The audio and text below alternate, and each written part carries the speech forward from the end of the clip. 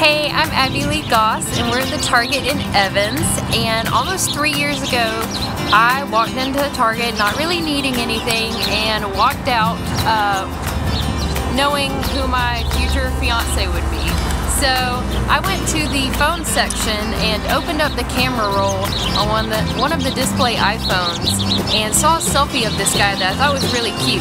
So I posted on my Snapchat, hashtag find target guy. Well, now we're engaged. Every time someone asks me how I met my fiance, they always expect it to be like a, at school or at church. Well, when I tell them the story, at first they don't believe me and then I show them the evidence and they're absolutely blown away. No one can believe it.